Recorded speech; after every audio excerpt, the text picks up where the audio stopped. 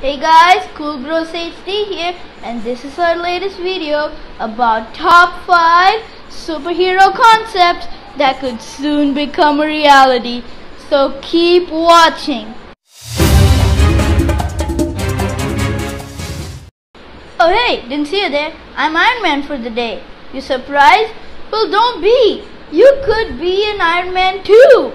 Well, you don't wanna know why? Cause this suit I'm wearing is an invention that's found already. How cool is that? Everybody can be Iron Man now. But don't tell that. Cause I'm Iron Man for the day and I don't wanna spoil my job. Well, if you don't mind now, I've got the world to save. See you later.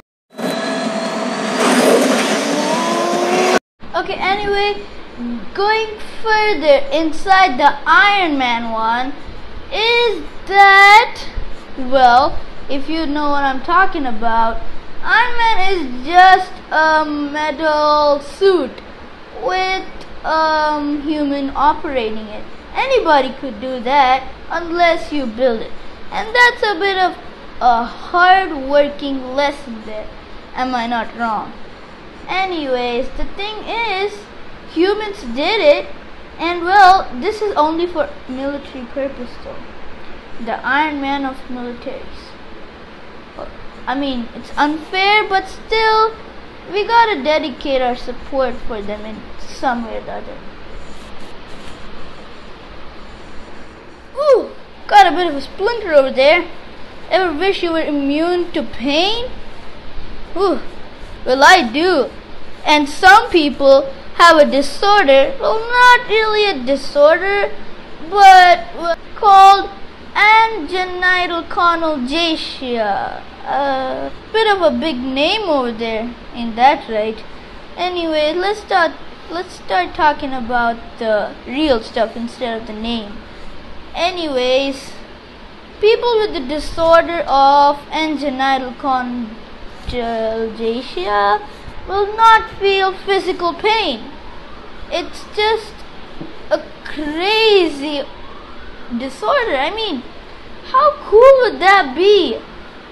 It's just like watching you get hurt, but you without feeling the pain in it. That's so cool, right? Um, the source is in the description, so you can go check it out yourself. And how about we move to the next superpower? Hey, I'm Aquaman. I can breathe underwater, and you can too, even if you're human. You wanna know why? Well, you wanna hear it from my best friend who is super strong and handsome just like me, and his name is Nemo. Let's get to it. Oh yeah, that's right.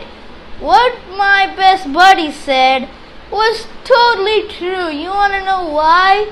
Because well, discovery of a new mineral that could absorb oxygen from water and retain it for long periods of time. When the, well, there is no name for the mineral, it's still possible to live underwater for a few days. Want to go scuba diving and live with the fishes for a few days? No problem. Replacing human body parts with cyborg material or robotic material is getting increasingly in demand since the invention of it. So you know what makes it so special about this one?